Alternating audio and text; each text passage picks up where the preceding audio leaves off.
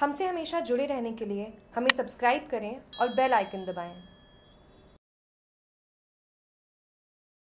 व्यवस्था परिवर्तन रैली के बैनर का विमोचन सामाजिक कार्यकर्ता और युवा नेता रणवीर सिंह भादू द्वारा जिला मुख्यालय पर 9 सितंबर को आयोजित व्यवस्था परिवर्तन रैली के बैनर का विमोचन सोमवार को सिंहधरी चौराहे पर मजदूरों द्वारा किया गया इस अवसर पर उपस्थित मजदूरों को संबोधित करते हुए भादु ने कहा कि पिछले दो वर्ष से बजरी पर प्रतिबंध होने के कारण आज सभी मजदूरों के सामने रोजी रोटी का संकट खड़ा हो गया है।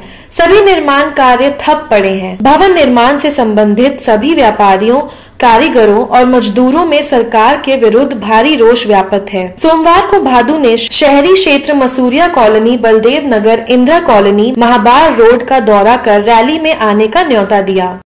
बाड़मेर से जागरूक टीवी की रिपोर्ट।